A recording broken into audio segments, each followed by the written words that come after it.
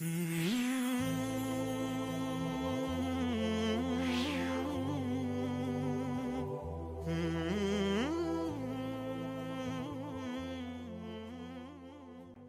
الرحمن الرحيم الحمد لله رب العالمين الرحمن الرحيم اللهم صل وسلم على محمد وعلى ال محمد كما صليت على إبراهيم انك حميد مجيد In the name of Allah, the most gracious and the most merciful.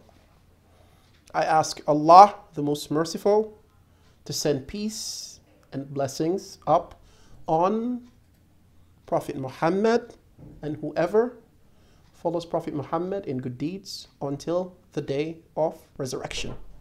Assalamu alaikum wa rahmatullah. Now, before I start this weekly sitting of knowledge, I would just like to give and for you to give an account of all the previous sittings. We should utmostly try to make all these sittings beneficial. We should not aim at just gathering knowledge without the implementation. We studied Quranic ayats before and hadiths of the Prophet. ﷺ. We should be working our utmost to implement these Islamic preaching in our daily lifestyle. And I hope we're doing that. I hope the information that we are getting is an evidence for us and not against us. Now, in this sitting, I would like to put some spotlight on the treatment of the parents, the treatment of the mother and father, and finally, the treatment of your kinship. Now, in our sitting, I'm going to give you a few Quranic verses that speaks about the importance of the good relationship that one should have with their parents and their close relatives. Now let's start. Allah, the Most High, says, Worship Allah and join not with Him in worship, and do good to parents, king folks, orphans, all miskin, al miskin, the poor, the neighbor who is near of kin, the neighbor who is a stranger, the companion by your side, the wayfarer you meet, those slaves whom your right hand possesses. Now, in this verse, Allah has stated numerous people that you should be good to. First and foremost, Allah has stated that you should worship none except Him. Are we doing this throughout our lives? Are we making the fair? Are we making or all our acts of worship only for Allah? Are we fearing Allah in what we say on a daily basis? Then, are we being kind to our neighbors, family, parents? Are we? Think about this in order that this ayah is not considered a evidence against you in your grave and also on the day of resurrection. Now let's go to the second evidence. Allah the Exalted says, And fear Allah, though whom you demand your mutual rights, and do not cut the relationship of the womb, kinship. And those who join that which Allah has commanded to be joined. That is, they are good to the relatives and do not sever the bond of kinship, meaning the relatives, the aunts, the uncle, do not cut them off from you. They are close to you in every way. And this verse is in the 13th chapter of the Quran, verses 21. And let's move on. And we have enjoined on man to be good and dutiful to his parents. Now, throughout these verses, you can see numerous mentioning of being good to the parents. Are you being good to your parent or parents? Are you being honorable to them both? Are you thinking before you talk to them? Are you expressing the utmost respect when you speak to them? Are you doing what they are asking you or commanding you to do? And I should make a point. Now, in this situation, if your parent or parents commands you to do something that is on Islamic, you should not obey them. Why? Because Allah Azawajal, who is your creator and their creator, has made rules and regulations for you in order to be on the straight path to Him. And Allah, the Exalted, has said, And your Lord has decreed that you worship none but Him. And this is the importance of Tawheed, worshipping Allah in sincerity and oneness. And that you be dutiful to your parents. Again, dutifulness is very important. If one of them or both of them attain old age in your life, say not to them a word of disrespect, nor shout at them by addressing them in terms, but address them in terms of honor, and lower unto them the wing of submission and humility through mercy, and say, My Rabb, O, o Lord, bestow on them your mercy as they did bring me up as I was or when I was young. Chapter 17, verses 23 to 24. So you can see throughout these ayats, throughout these verses, the importance of worshiping your Lord in oneness and in truth.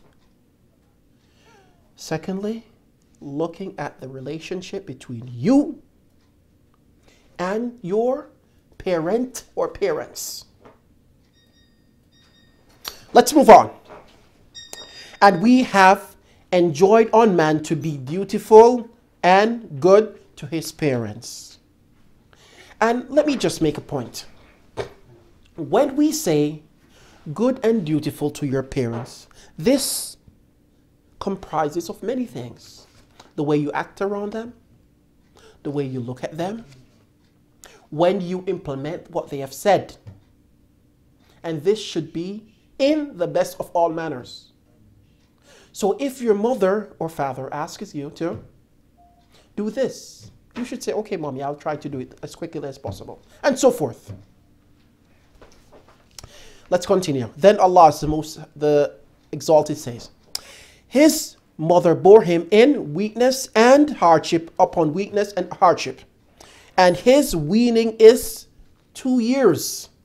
Give thanks to me and to your parents. And you can see in this verse, Allah states, Give thanks to me and his and the parents. So we should say, Alhamdulillah. Then we should say, Thank you, mommy and daddy, for all that you have done for me throughout my life and up until now. Abdullah bin Mas'ud, may Allah be pleased with him, reported, I asked the Prophet Muhammad, sallallahu wasallam, may peace and blessing be upon Prophet Muhammad, which of the deed is beloved most by Allah, the Most High, or the Exalted. The Messenger of Allah, may peace and blessing be upon him, said, Salat at its proper time. I asked, then next, or what next? He, the Prophet ﷺ said, replied, kindness to parents kindness to parents. See the importance? After stating the importance of salat in the proper time, the Prophet ﷺ said, kindness to parents. Mm. I asked, what next? He replied, jihad in the way of Allah. And this hadith is in Al Bukhari and Muslim. Commentary Performance of Salat at the stated time mean its performance in the earliest prescribed or at least its regularity. One should not give preference to mundane affairs over it. Salat and jihad are the two most meritorious duties of the Muslim. When nice treatment to parents is mentioned along with salat and jihad, it gives further importance to this injunction. Meaning that the treatment of your parents or the treatment towards your parents should be good and be of the utmost actions that you're doing. And you can see within this hadith that the Prophet ﷺ gave preference to all other actions. He brought the, these three actions within the, state, the hadith where he mentioned salat in the proper time, one, then kindness to parents, and thirdly, jihad, fighting for the sake of Allah. And all these are in one hadith. Now, if you ask yourself, now, have I been dutiful to my mother? Have I obeyed my mother in keeping away from, you know, negative companies? Have been have I been dutiful to my mother in getting things for her on a normal or basic lifestyle? Have I been good impl implementing the actions of my father in keeping away from things that are un Islamic? We should think about this.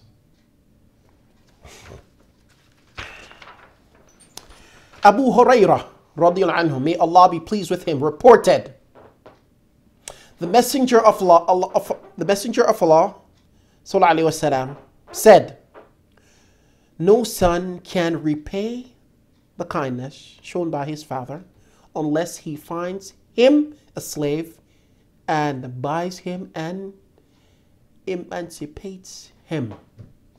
And this hadith is in Al Bukhari. Commentary. This hadith is also this hadith also brings out the immense and the importance of the rights in regards to the parents and parent and the importance of their rights.